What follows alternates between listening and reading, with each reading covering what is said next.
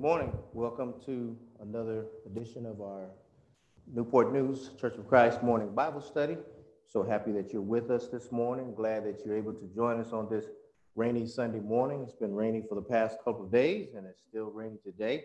Uh, we're thankful, though, that God has blessed us to open our eyes this morning and see this day and to be able to be with you and to come and to present another portion of God's word through our Bible study of the faith lessons of Abraham in the book of Genesis. We'll be in Genesis chapter 18 this morning. So hope that you'll grab your Bibles and uh, sit back and, and get ready to study with us for the next 45 minutes or so. We're in the book of Genesis chapter 18, looking at the life lessons of Abraham. And we'll look at this morning Abraham and the three strangers. Abraham and the three strangers or uh, in other words, the biblical version of guess who's coming to dinner. And so Abraham is going to entertain uh, three strangers and three uh, guests this morning. And we want to look at that and pull some uh, life lessons out of that and, uh, and, and get some deeper meaning into the, the, uh, the meaning behind these three visitors that came to Abraham. We know in scriptures that Abraham uh, was the friend of God. Abraham was the friend of God. Uh, Abraham is given this title in Second Chronicles 20, verse 7, Isaiah 41 and 8, and James 2 and 23. And he's the only person in the Bible to have this title, to be known as the friend of God. Now, Lazarus was a friend that Jesus called Lazarus and Mary and Martha his friends in John chapter 11, 11. Lazarus, our friend, sleepeth, and they had he uh, left up and went down to uh, Bethany to go see uh, Lazarus and uh, his, to go see Mary and Martha because their brother had died. And so they were great friends of, of Jesus. But Abraham is called the friend of God. Now, today, all those who believe on the Lord and obey, we can be his friends. When he was with Jesus, with his disciples, uh, before uh, when they were doing after the Last Supper and the time they were gathered before he would go out to the Mount of Olives and pray. Uh, Jesus, uh, in talking to them, said, "You are my friends, but you are my friends. What if you obey? If you heed my commandments, listen to my words, and do the things that I command you." Then you are my friends indeed. No longer, Jesus said, Will I call you servants, but I call you friend. And so the servant is a lot lower. Servant just does what his master says. But when you are a friend, that's putting us on a, an equal footing with, with our Lord and Savior Jesus Christ. But we can only be his friend if we do the things that he says, if we listen to his word and, uh, and obey him. Then Jesus says, You are my friends indeed if you will do those things. As friends, we can share his love and we can share his fellowship and we can know his will. Moses was another person that had a friendly relationship with God. And Moses, we talked about, we had a lesson a, a few months back. Uh, Moses wanted to know more than what just God had done, but he wanted to actually know God's ways. He wanted to know his will, what he wanted him to do, and what his will was. But he also, Moses wanted to know more. He wants to know his ways. He wanted to be more intimately uh, familiar with God and to know his ways as well as his will.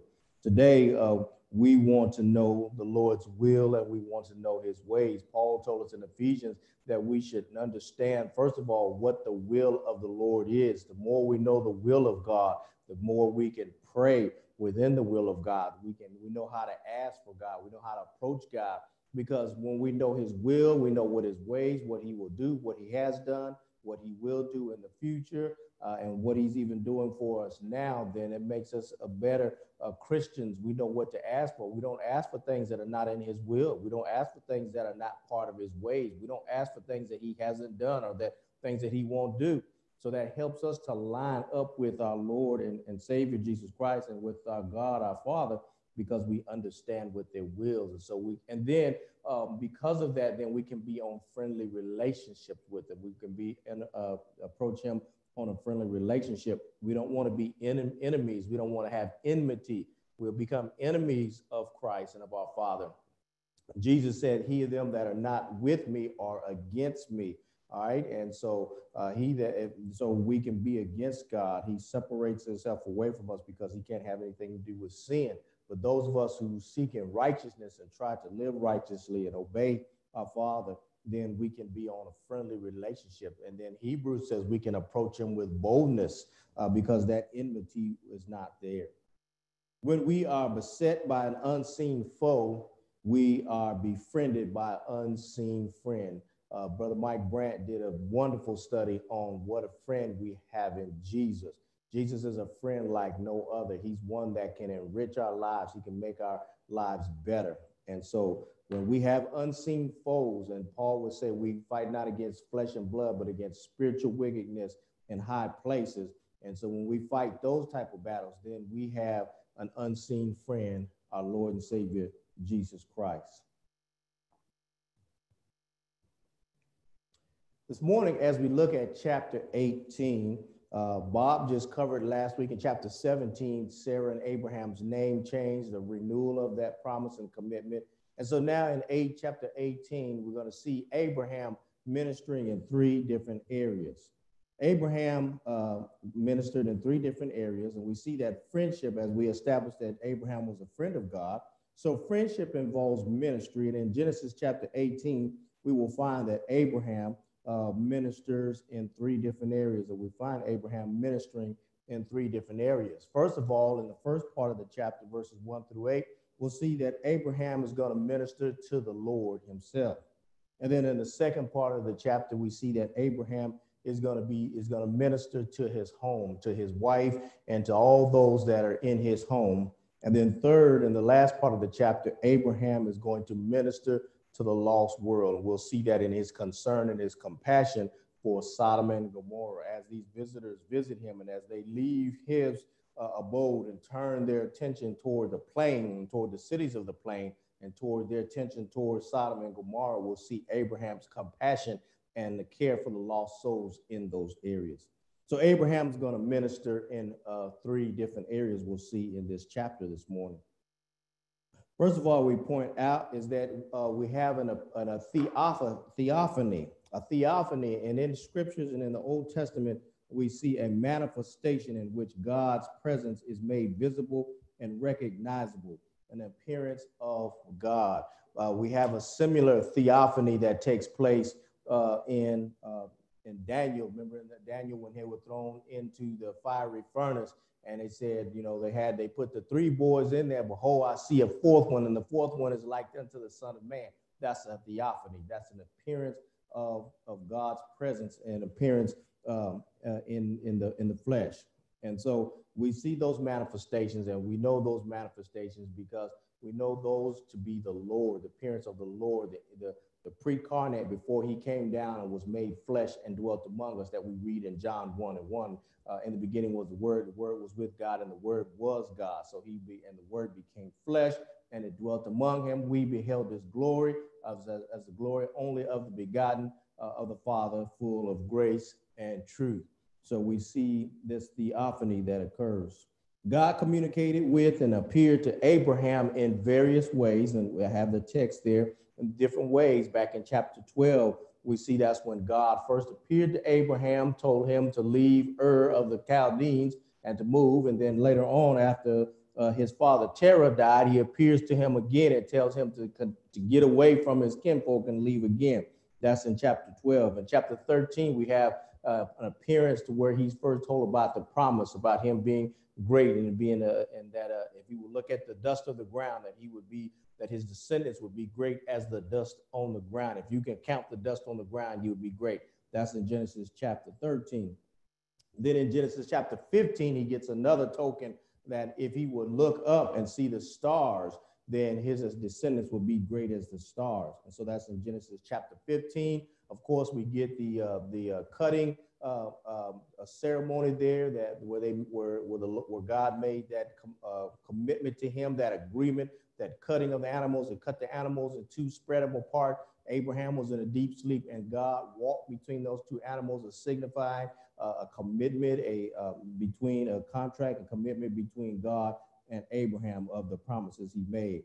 And then again in Genesis chapter 17, where Brother Bob was at last week, we find another appearance to Abraham, uh, and their names were changed from Abram to Abraham, father of the great nation, and from Sarai to Sarah. So those are the appearances and the ways that God had communicated to Abraham in various ways. In Genesis 18, there's a special theophany occurs. The Lord uh, and two angels uh, going to visit uh, uh, uh, Abraham in human form. Abraham shows himself to be a man of great hospitality during this particular visit.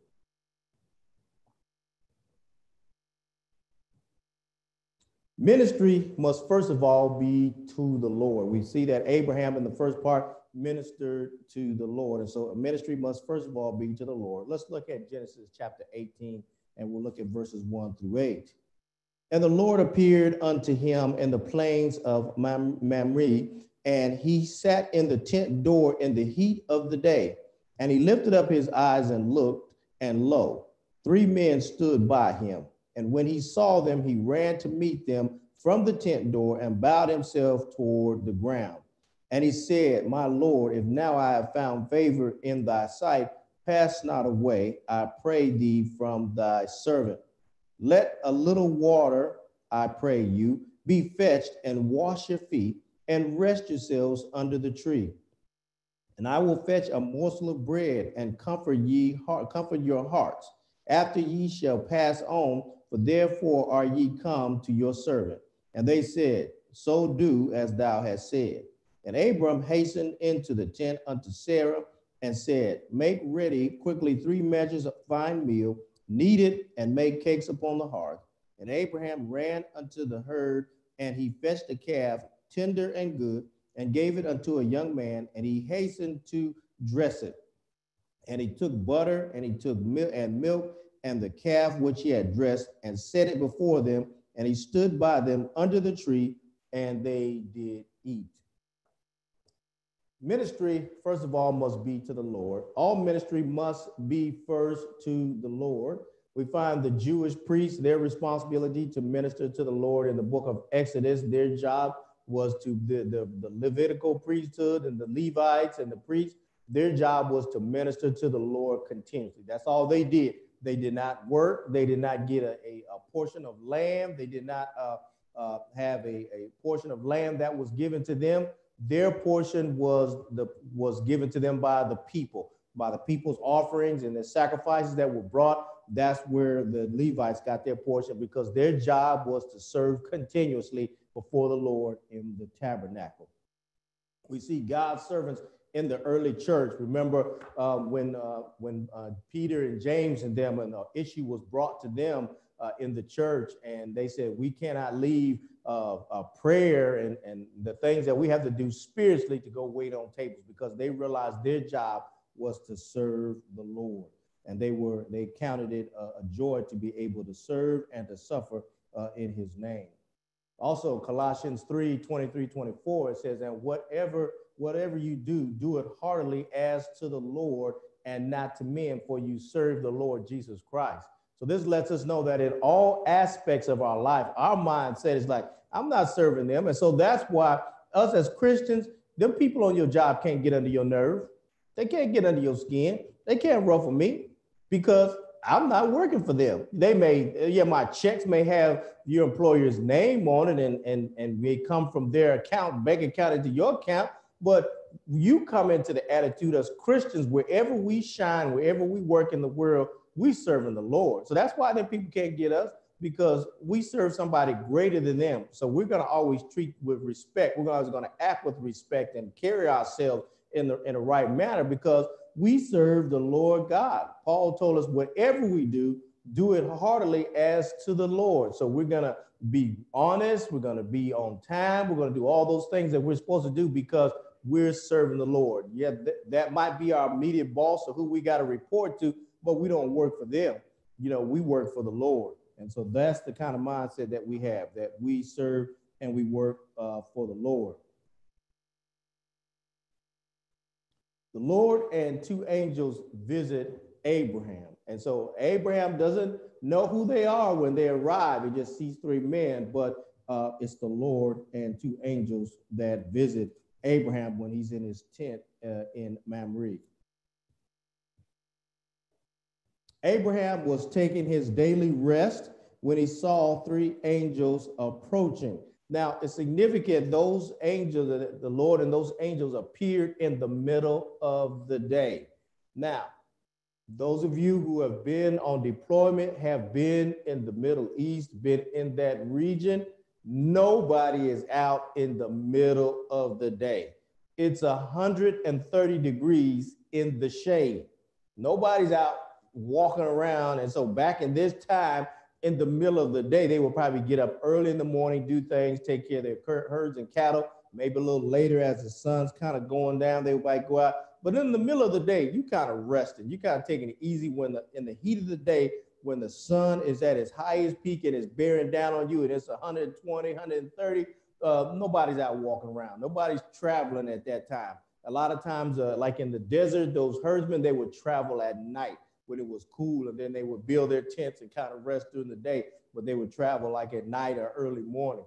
So it's significant. Uh, Abraham is kind of taking his rest in the middle of the day, and he sees these men approaching, which will be unusual because just people wouldn't be traveling in the middle of the day in the heat of the day like that. There's three strangers were the Lord Jesus Christ and two angels. Uh, there was nothing about their appearance that told Abraham who they were, but as he fellowshiped with them, he learned that he was entertaining royal visitors.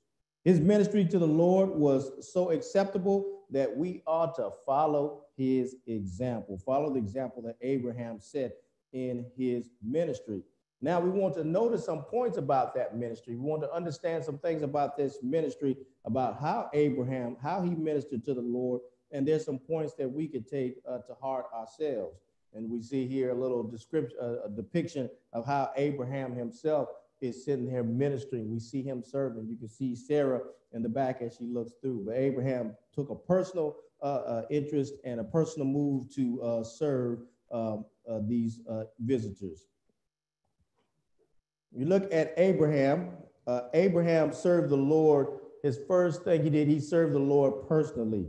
Abraham was 99 years old uh, and wealthy, he could have called on his steward or one of his 300 servants. Now, that is just ponder that for a minute. Abraham, he's 99 and he's a wealthy sheik. If you if you ever seen movies like Lawrence of Arabia and different movies set in those desert scenes, and, and Abraham is a wealthy, very wealthy sheik. He was enriched uh, in Egypt. Remember when he went down to Egypt uh, during the famine? And then uh, as he came, when he got there, they gave him a lot of gifts and him and a lot, a lot of gifts because they wanted Sarah, who he said was his sister. They wanted to take Sarah for his wife. So they were giving Abraham a lot of stuff. And then when they found out it was discovered that this, uh, and because of the plagues that came on Pharaoh and his household, he realized that this is somebody's wife. And so they gave Sarah back to Abraham and then gave him a lot of stuff and servants to leave and get out of here hey, look, take some most of it. We've made you mad and offended your God. Hey, take this and, and just go. So Abraham is very rich. He's a, he's a rich sheep. And so ponder this. Uh, just think out there in the desert, uh, he has a steward of his house and he has 300 servants. The reason why him and Lot separated is because he, Abraham, had a lot of servants to take care of all his cattle, and Lot had a lot of servants and people that was taking care of uh, his affairs and taking care of his cattle. And so the two of them couldn't strive together. There wasn't enough room. They were bumping heads. And so they separated because they were brethren and they didn't want anything between their herdsmen to, to filter over into their relationship. But Abraham has 300 servants. Abraham out there in Mamre is like, he's like a little city in himself. Just him and his family are like a little village, a little, little floating city of about 300 people. So I think that's amazing. But Abraham served personally. Abraham didn't call his steward. Uh, Abraham didn't call one of his servants. He could have said, snapped his fingers and, and said, hey, hey, go out there and see what them men want. Uh, when those men approached, Abraham jumped up and he went out to meet them. He rushed out to greet them. Abraham could have laid in his tent and, and act like he was asleep.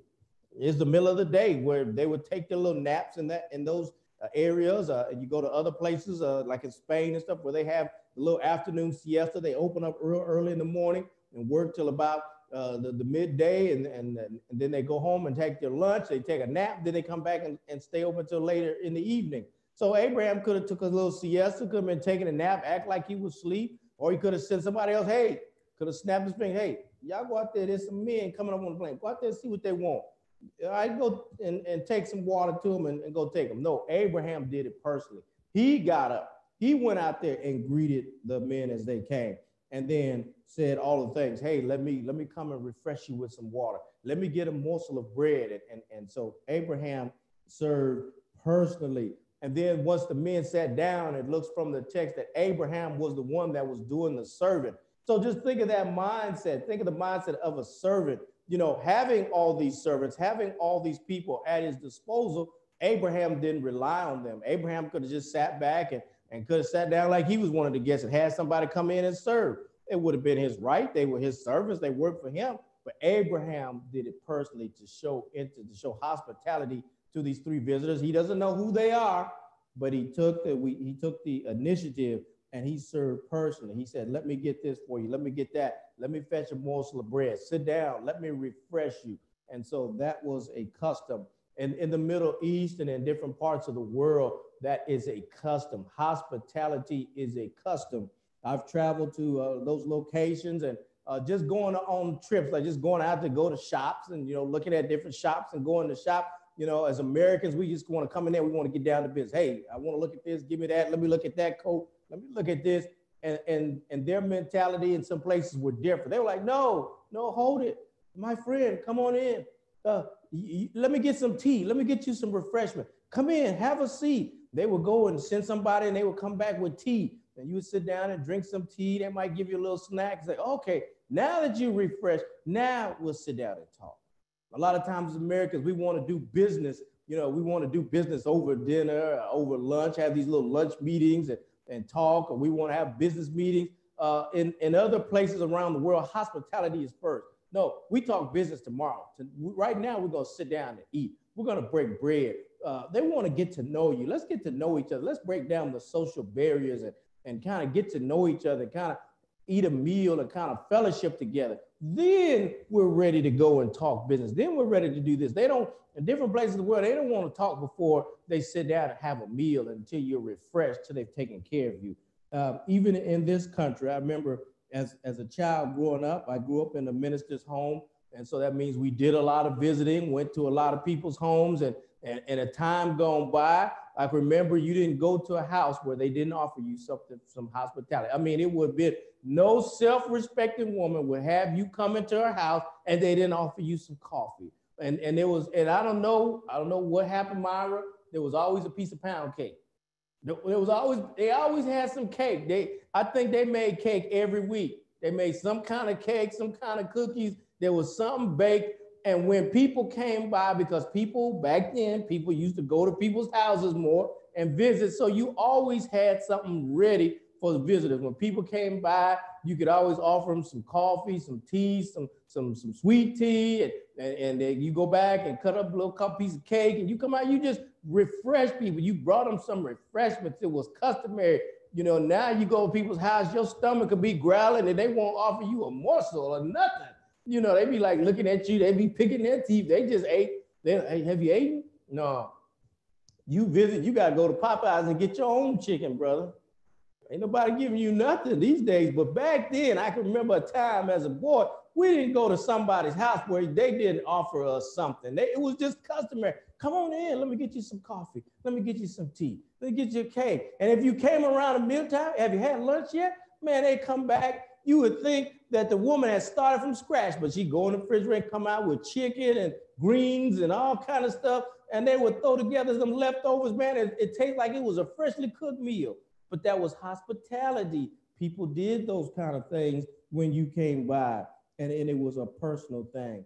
Uh, now today, our hospitality is you come over to somebody's house, they might call, hey, let's call DoorDash let's call Uber Eats, and they call somebody to bring something to the house. Ain't nobody cooking no more. Nobody's making cooking, and nobody got cookies and, and fresh break bread. You might open up some packaged stuff, but back then people had baked stuff. They women had a cake, always a cake hanging around the house, some cookies or something, because they expected to be able to entertain people when they came to the house.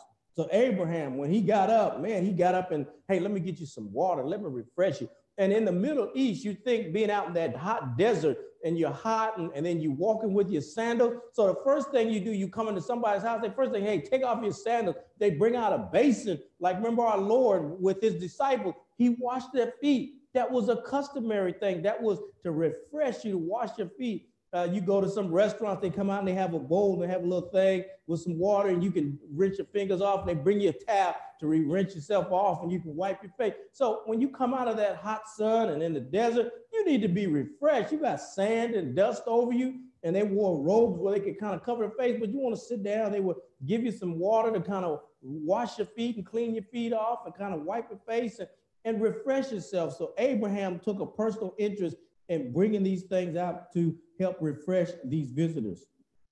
Abraham also uh, also he ministered uh, uh, profession. He, he, also ministered immediately to these men. Uh, he mentioned he, he immediately Abraham was a man of faith, and faith does not delay when it comes to serving the Lord. He did not ask the visitors to sit and wait. He didn't ask them to sit down and wait. Abraham brought them in and immediately started tending to their needs, brought water and got things and, and immediately ministered. So as, as people of faith, we don't wait, we don't hesitate.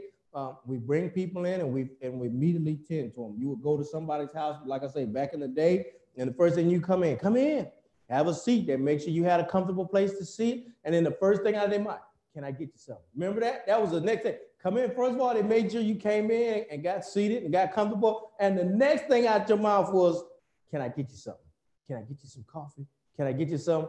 Now you go to somebody's house, they have you waiting and you parched, you might be thirsty, and you might not never get that offer. You may never get that, hey, can we bring something? But that was, you come to somebody's house, that was customary. Come in, have a seat. Let, let me get you something. What, what, let me get you some tea. Let me get you some coffee. Let me, you need some water. You know, they realize you just coming from outside and now we got AC and we got comfort in our homes. But back in the day, not everybody's car had AC. I remember years back, not everybody had AC. The AC was a luxury. You know, your AC was two windows 55 miles an hour. That was your air conditioning. So you might come in on a hot day. You know, you need some water. You need to be refreshed because not everybody had the luxury had a nice car with AC. Now, uh, today, all of these things are standard. Everybody got AC. Everybody got power windows. Nobody know what this is anymore. You do this to some kids, they don't know what that means. We know that meant roll the window down, roll your glass down. Everybody got power windows. Everything's power power locks. You remember you used to have to go and pull the lock up. We got all these conveniences now. And so we've kind of lost some of that hospitality, but people came in and immediately would tend to your needs. What we need. He'll get you some coffee, get you some, and then they would settle down in and for your visit. Abraham ministered to the Lord speedily. Speedily, he ran to meet the visitors in verse 2. He got up as they were coming. He didn't wait like, who that? Who, who, who that coming back in here? You go to some people's house now and and and and you don't stay no signs of life. They see you coming and they hide. They back there peeping through curtains and peeping out. Who's that? Who that coming in? Is that somebody from the church? Who coming up in here? Shh, shh, shh. And they get real quiet. Turn that TV down. Turn, cut that TV down, girl. Shh. Maybe they go away. They looking out the window at you. Damn. They ain't trying to have you come over here. I don't want to see them. Uh, yeah, that's brother Sons, that's brother Maxwell and brother Stevens. I don't want to see them. Nah, shh, turn the TV off. Shh, get everybody real quiet. They don't even, they won't even walk because they don't want the floorboards to creak. Everybody stop, stand still. And that house go dead.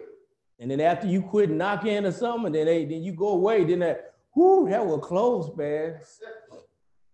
Folk don't want you coming up in there. But Abraham, was, was opposite. Abraham got up. Abraham ran out to greet his visitors. Hey, how y'all doing? And made them feel welcome. Uh, he hastened to tell Sarah, came in, come on in. And then he went, Sarah, get this, let's, let's get some, put some bread on and break some bread. And back then they would make the bread over their little heart, the flat bread. And, and then he goes out and he gets one of his young, he goes out and gets one of his young men and gets one of the calf I mean, this was this food was fresh. The bread was baked right there. Sarah, go bake some bread, and then go get a calf. Now, now, do you understand what it takes? You know, we go to the store and just get some packages and the meat already been butchered and cut up, all wrapped in a nice package. We take it out and can cook it. No, they were starting from scratch. They had to go get the animal, pick one out, cut him up, dress him, then cook him on the spot like that. That's the kind of hospitality. We be like, Lord, I ain't doing all that. I ain't doing all that. Cutting up, cooking. No, I ain't doing all that. But Abraham did all of that and got the young man, dressed it up, cooked it. So, I mean, we got in the scriptures, but we don't know how much time that take. It probably took a couple hours to get all that going. But in the meantime, they had time for conversation. Abraham served the Lord generously and he gave him the best that he had. Abraham, like, hey, let's go get this. Let's go get that. Let's go get this. Let's go get the bread. It wasn't like, you know, the day you come over, it might scare up some, uh, well, let, let's see what we got in the cabinet. Yeah, let's see, we got some leftovers. See, then, like I said, in the time past, people plan for guests coming over. So you always had some extra. Big Mama always had some extra, always cooked up some extra stuff. They made big meals, so there was always leftovers. There was always some stuff in there. So if somebody dropped by, man, they could come and pull it out. You thought they just cooked it. No, it's just leftovers. Because Big Mama didn't just make enough for just for right now. She made a big pot of stuff in a big pot. So, you know, you could come back and eat on it. If some guests came over, they could pull out and, and set a spread out there. You would think they had just cooked it for you. But that's that's how people planned ahead. They expected company. So there was always a little something in the cupboard, always something in the cabinet that was always there ready to be able to serve. And, and they would, and people would come out and they would give you the best they had. They would give you whatever they had, they give you the best. They, they, they would make sure that you was comforted. Abraham served the Lord cooperatively and involved the ministry of others. So Abraham worked with Sarah, his wife. Then he went over there and got the, the, the, the, the animal, to, and then he got one of his young men to take it. So he worked cooperatively. Abraham was the lead, and then he worked, his wife was there working, and then he had one of his servants along working with him. And so those are the different ways that Abraham served the Lord. Christian hospitality, and we see here a little um, depiction of Abraham serving. Uh, Abraham's pouring. Now look at that, brethren. Abraham out there pouring. He didn't sit back and with his feet popped up on his on his easy boy and say, Sarah, come out here and bring these men some water.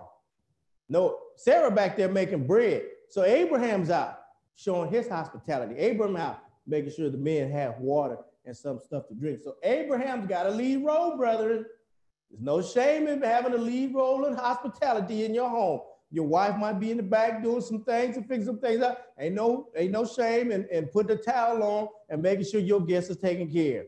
Sometimes, brother, we, we, we, people come over and we act like we wanted a guest. Woman's just sweating and running back and forth, doing all this stuff, and we act like we a guest. No, brother, this is your house. This was Abraham's house. Abraham took a lead role and being hospitable. He took his wife was back there working. They were working cooperatively. It was a team. So, brother, you work too. It's your house. You show the hospitality. You set the standard in your home for hospitality. You be a vessel of hospitality along with everybody else in your home. Hospitality is important. Hebrews 13, uh, verse 1 and 2 references this event. He says, Be not forgetful to entertain strangers, because some have entertained angels. You don't know who you entertaining. So be not forgetful to entertain strangers. Uh, and and it's, it's interesting I as I looked at that, the Lord cares about the stranger. The Lord cares about them. Now, this country, and, and uh, even not just here, but around the world, we're getting stingy. We don't care about the stranger no more. There are people who are strangers. There are people who are sojourning. There are places around the world that are war torn. And, and people are now refugees and people are just stranded without nothing. And, and these people are walking, trying to get away from a hostile situation, a war that then tore up their country, tore up their homes, and they've been forced to grab their kids and whatever they can put on their back and try to walk to another country. But do you know that other country looks and go, oh, we don't want all them people in our country, and they will close their borders. Shut their borders up, close their fences in. They don't want them in their country. They look at them as some refuge, as some trash. We here, our country knew some people was coming from South America, and we started talking, hey, Mexico, you better stop them.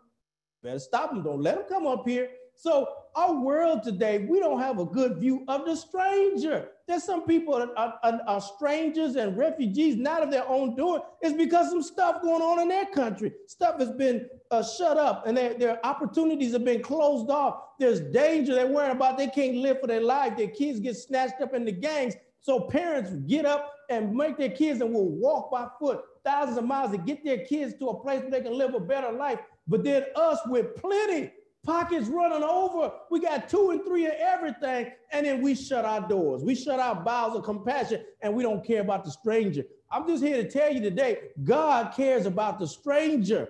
He cares about the stranger. In Jeremiah chapter 7 last week, one of the indictments that the Lord had against those Jews is that they were mistreating the strangers in their country. That was the first thing he said. Y'all don't care about the immigrants. Y'all don't care about the strangers, those that are living within your borders. If they ain't a Jew, they're a stranger. The Jews didn't care about them. And then y'all don't care about the fatherless. Y'all don't care about the orphans and the widows. You don't care about all these people. And so the Lord has something to say about the stranger. So Abraham's example is important. You don't know who you entertaining. So don't be forgetful to entertain strangers because some have entertained angels. Hospitality is an important part of Christian ministry, as we see in Romans 12 and 13, 1 Peter 4 and 9. You can look at those references. It is one of the requirements for leaders in the local church. Uh, the, the leaders in the local church have to be given to what? Hospitality. That's one of the one of the credentials of being a leader. You can't be a leader and be inhospitable. You have to be a, a, a leader in hospitality. One of the quality, uh, qualifications to be a leader is hospitality. The husband and the wife, you got to be able to provide a place and, and look out for others.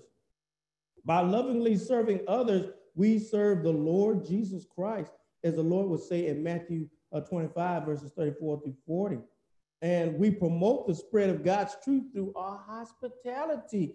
Uh, Jesus told his disciples, by this men will know that he, he said, do you know what I've just done for you when they washed their feet? He said, I've given you an example. By this will people know that you are my disciples. That's going to be your calling card, not because of what you say out of your mouth, but be what you do. By this will all men know that you belong to me, that you've come for me is one of the signs is what? How do you treat other people? How do you treat the stranger? How do you treat guests? How do you treat people that you don't know? That's going to be your calling card. Do you show love? Is what Jesus was saying. So, Christian hospitality is important. And I fear Brother Maxwell is becoming a lost art. We are losing the art of hospitality because our lives are so spread out. We live miles apart. And so we don't live in this close community anymore. And so we don't just come into contact with each other like that anymore. So I think we're losing, we're not passing that hospitality on to the next generation. Are we passing it on to our kids? But have our kids seen us? Now, the, our, our kids will see it if we've done it in our home. Have we taken in people? Have we fed people and had them over for dinner and done things? Have we gone out of the way? And I'm sitting here looking at a family right now that practices hospitality. I'm not going to call their names, but I'm looking right at them. I know a family that people come here for the first time as a visitor. This family takes them out to dinner. That very day they meet him and say, hey, why don't y'all come and go to eat dinner with us? Hospitality. But instead, we're looking at wallets like, oh, the check a little tight. Uh, uh, we, we, get together with you sometime. We do that. Hey, yeah, we got, let's get together sometime. And guess what? Sometime never happens. Sometime never happens. But when we show people, you may only have that one time. Them people, you may only see them that one time that you come in contact. They may only visit this congregation that one time. So that's the time to show hospitality. That's the time. Hey, we, we can forego some other stuff we're going to take these people out and, and, show. They might need you. They might need in your conversation, you might be able to talk to them and help them and bless them in their lives. It might just be that, that one meeting that they need with some good people to help them in their lives. So you got one time to show some hospitality. So don't neglect it. Don't put it off. Show hospitality. It's an important part of our Christian duty in our service. And not just to people, other people. Jesus said, just don't do stuff to people who can do stuff back to you. Don't take out people and then spare. Okay, I took you out this week. Y'all take us out next week. No. Do some stuff for some people who can't pay you back and you know who can take you out. We're going to uh, get just a little bit more, and then we'll shut down. We've already reached our, our, our time. Uh, but Abraham ministered uh, to his wife as well. Abraham ministered to his wife and to his family. Let me read this text here. We'll give you about five more minutes and then we'll, we'll shut down and, and verse 9 through 15. And, and they said unto him, Where is Sarah thy wife? And he said, Behold, in the tent. And he said, I will certainly return unto thee according to the time of life. And lo, Sarah thy wife shall have a son. And Sarah heard it in the tent which was behind him. Now Abraham and Sarah were old and well stricken in age, and it ceased, uh, and it ceased to be with Sarah after the manner of woman. Meaning she her body was it, it was advanced where she could not uh, uh, bear children. Plus, we already know from beforehand in Genesis that she was already barren. She was not already have, have children when we when Abraham and Sarah come on the scene. Abraham 75, Sarah 65. Therefore, Sarah laughed within her, laughed within herself, saying, After I am waxed old, shall I have pleasure, my Lord, being old also? Uh, and the Lord said to Abraham, unto Abraham, Wherefore did Sarah laugh, saying, Shall I uh, of certainty bear a child, which am old? And is there anything too hard for the Lord? At the time appointed, I will return unto thee according to the time of life, and Sarah shall have a son. Then Sarah denied, saying, I laugh not, for she was afraid. And he said, Nay, but thou didst laugh. And so Sarah in her tent, uh, uh, it was kind of, a, it was amusing that she would be able to, to bear a child, as the angels uh, told Abraham as they sat in fellowship. But Abraham was faithful to the, to the Lord. He became a channel of blessing to his wife and eventually his family that was later to come. Sarah had an important role. Sarah's role was important. Her name was changed just like Abram's name was changed, as we saw last week in chapter 17. She had an important role to play in the working out of God's plan of salvation. Uh, she's in the hall of faith in Hebrews 11 11. Sarah's in there by faith, Sarah. She's in the hall of fame, First Peter 3 1 through 7, and also Romans 4 18 through 21. Sarah is important. She's important. Women are important to God's plan. Look at all the women, all the significant women. You've got Sarah, you got Hannah, you've got Rahab the harlot, you have Ruth that married Boaz, and Boaz begat Jesse, Jesse begat David, and David was a man after God's own heart. And out of that line is going to eventually come what? The Christ. So look at all those beautiful, significant sisters that were back in that time and their example that lives to us today. So women, we, we can never feel like, uh, well, what's my role? We don't have a role. Yes, sisters, you have a role. They had a role back then. They have a role now. They're part of that plan of God's salvation. So Sarah had a role to play. The Lord had come all the way. Look at this. The Lord had come all the way from heaven to give Abraham and Sarah an announcement. At the same time, next year, Sarah will give birth to a promised son. Now, today we have reveal parties. People do all these, you know, you've seen on videos, people all these creative ways of revealing they're going to have a baby and what the sex of the baby is. But this is probably the greatest reveal party you've ever seen is that the Lord Himself came down to bring Abraham and Sarah that news that the next time, this time next year, y'all will have a child. The news was so incredible that Sarah laughed and she questioned whether such a thing could happen to two elderly people. And we know that God's plan was for Abraham and Sarah to be well past dead. God was waiting. That's why all this time was taking place from the time that they were first promised. God is waiting on his timetable that they would be well past the time where Abraham would be able to produce seed and that Sarah, she was already, we know she was already barren, but he's going to wait well past the time where women of even that time period were bearing children to where their bodies that already was depleted of anything that would allow them to sustain life. And so th- this would be only by uh, the grace of God that this was going to happen. Abraham's laughter, uh, uh, Sarah laughed and, and questioned, and kind of kind of like a questioning laugh. Uh, can't get here. This is ridiculous. I can't do it. I'm old. You know, she's a uh, Abraham's 99. She's 89. They can't. This can't happen to. us. We're two old people. This can't happen. Abraham's laughter had been out of joyful faith in, in Genesis chapter 17, as Bob uh, uh, covered last week.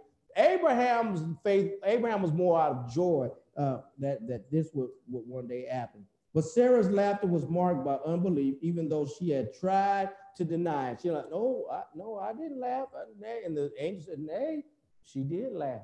She did laugh. We, we heard her laugh. And there's a little depiction. There's the angel saying, uh, nay, she did laugh.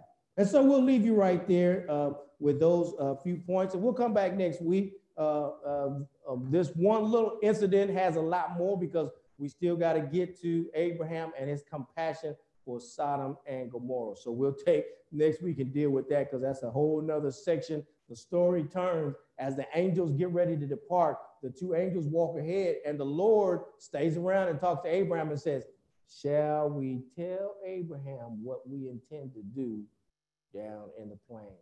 And they reveal the plan. And so we're going to see Abraham's compassion for those lost people down there in Sodom and Gomorrah. So that'll be next week. We'll continue this with Genesis chapter 18.